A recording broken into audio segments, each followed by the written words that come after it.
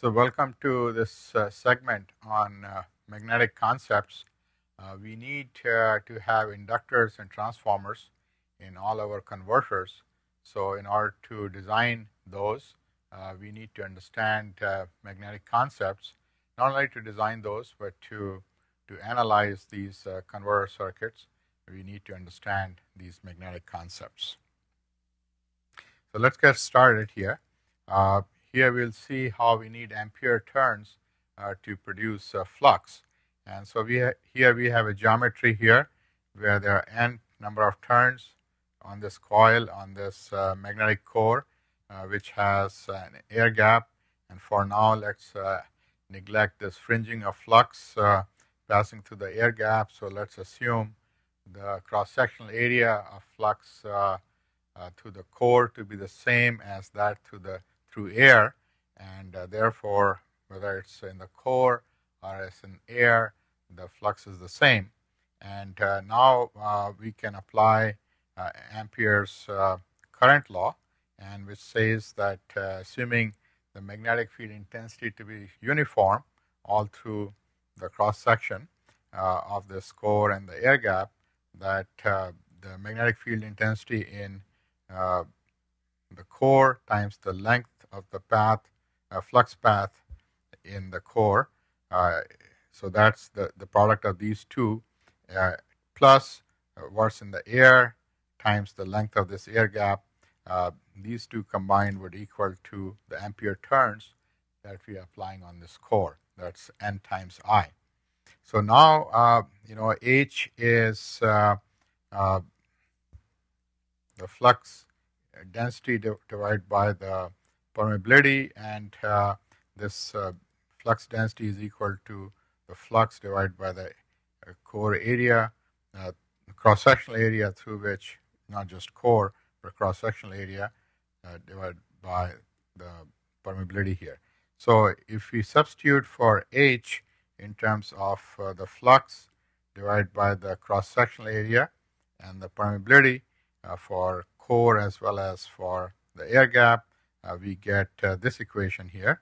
And we can recognize that this term here is called the reluctance uh, offered to the flux path in the core, which we designate by this uh, subscript m. And uh, this is the reluctance offered to the flux uh, in, in, the, in air, and we designate by the subscript g. So we have two reluctances which add up to give us the total reluctance.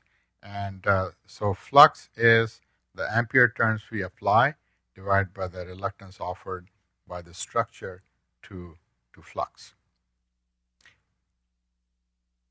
So uh, next we will look at uh, this uh, inductor here. Uh, again, on a uh, magnetic core, we have n number of turns through which we are passing this current I and the cross-sectional area through which uh, this flux passes, let's call it A sub m, and the permeability of this core is uh, mu sub m and number of turns.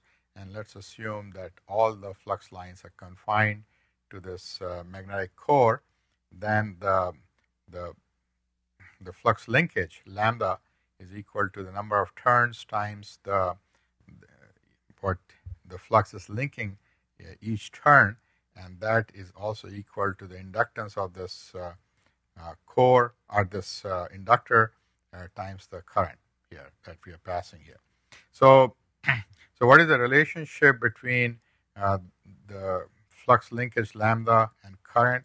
That would define the inductance, and uh, that we can see in the in this expression here below. So we we have this current I, and from Ampere's law, you know, ampere turns Ni divided by the uh, mean path length of this core would give us the magnetic field intensity. We multiply that by the permeability, that gives the flux density. We multiply the flux density by the uh, cross-sectional area through which the through which flux is passing. That gives us the flux multiplied by number of turns. That gives us the flux linkage. So you can see that uh, uh, you know, dividing this lambda m with, by this current that is just the product of all these terms here. And uh, combining those, we see here that this inductance, as uh, we saw earlier, which is lambda over I, is equal to, it turns out to be n squared divided by the, this reluctance over here.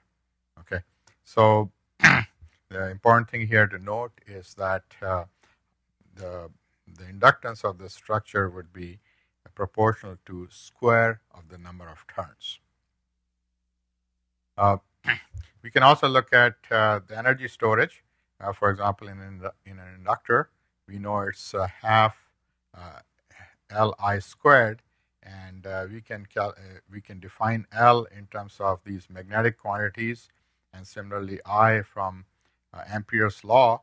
And the bottom line is that this energy stored W here is equal to this expression here, where this part here is the volume, uh, the cross-sectional area times the, the length. So that's the volume. And so if you divide the energy stored by this volume, the energy density is equal to 1 half flux density squared divided by the permeability.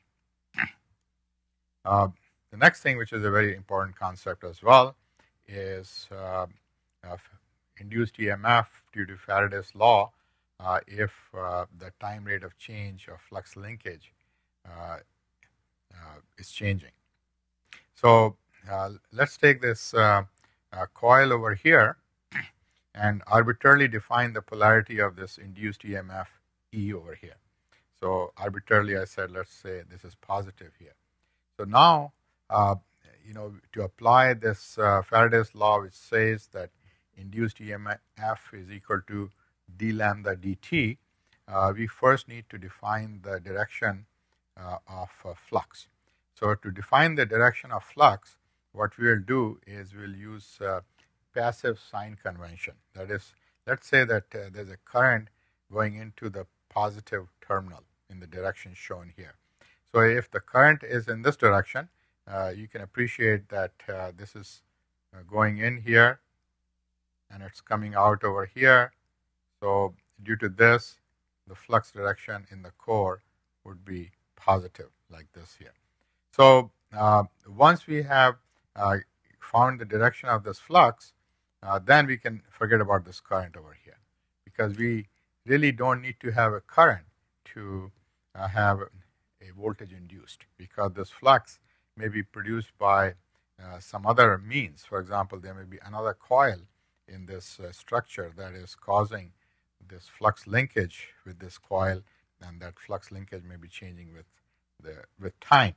Okay so uh, so given this uh, voltage polarity that we first assumed arbitrarily and uh, based on this uh, flux direction we can say that uh, from Faraday's law the induced EMF is equal to d lambda dt and if you assume that the same flux is linking all n turns, then it's, it's equal to n times uh, d uh, phi dt. And this can also be written in an integral form as shown here.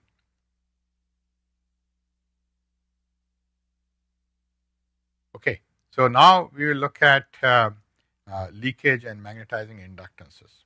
Uh, when we have magnetic structures, uh, we bound to have leakage flux.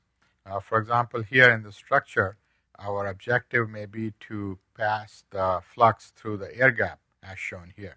But uh, inevitably, there will be uh, leakage flux through the, through the window of the structure here.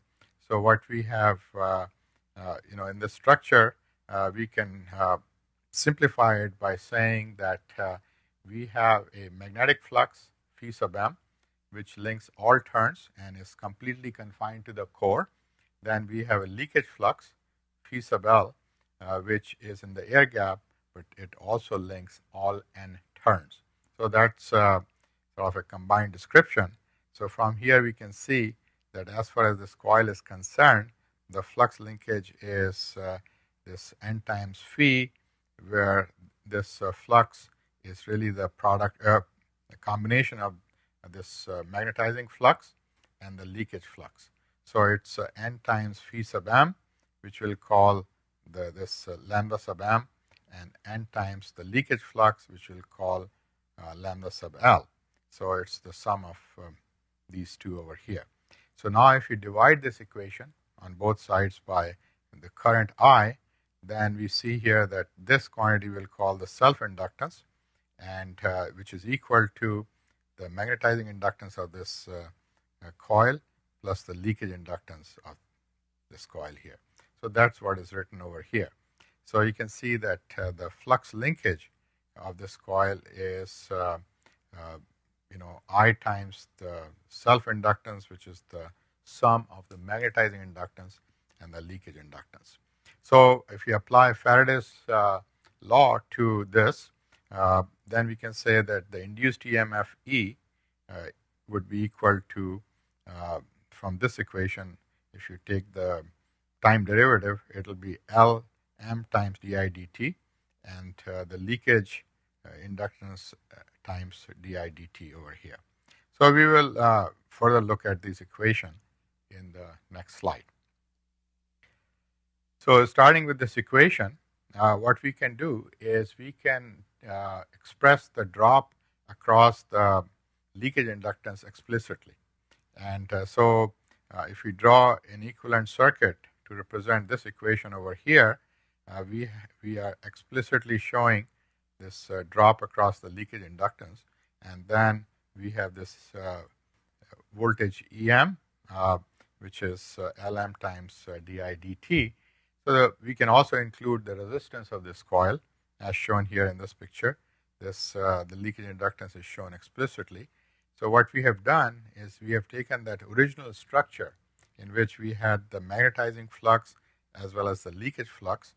We took out the leakage flux uh, and represented it by this uh, drop voltage drop uh, uh, represented by this L sub leakage here through which we have a voltage drop and then we have a magnetic structure where there is no leakage because that has been taken out explicitly on only the magnetizing flux over here.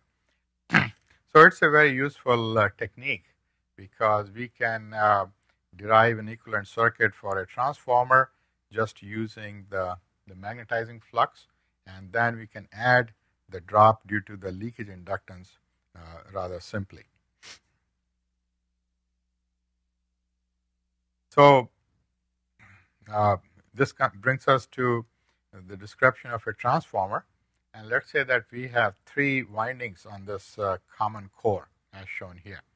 And, uh, uh you know, very carefully the, the coil orientations are shown. And uh, these uh, dotted terminals are also identified. We just need to pick one dot arbitrarily. Let's say we pick uh, this dot and one coil over here, then it becomes, uh, then there is no choice. If the orientation is carefully shown uh, on the orientation in which these coils are placed, then uh, the dots would be as shown over here. So, you know, from Faraday's law, we can say that uh, you know you have E1, which is uh, N1 dphi dt.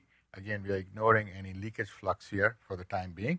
Similarly, E2 would be N2 dphi dt, E3 is N3 dphi dt.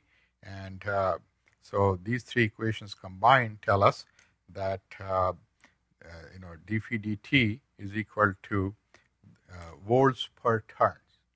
So in each coil, volts per turn would be the same. E1 over N1 is equal to E2 over N2. Uh, things like that and uh, we can write this equation in this integral form as well over here. So here, uh, the other thing we, we can say is that uh, uh if you make use of uh, Ampere's law, uh, the, the combined Ampere turns acting on this core, if you define I1 to be going into the dot, similarly I2 and I3, the total Ampere turns acting on this core would be the sum of uh, all these three ampere turns and divide by the, the reluctance of this core would give us the flux.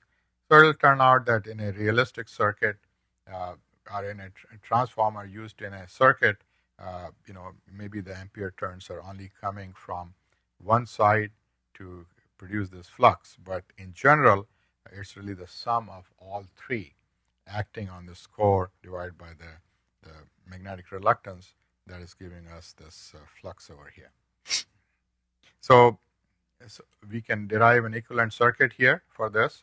Uh, first, uh, we can say that, uh, like, uh, let's say that uh, in this three winding structure, only coil 1 is supplying the, the, the, magnetizing current.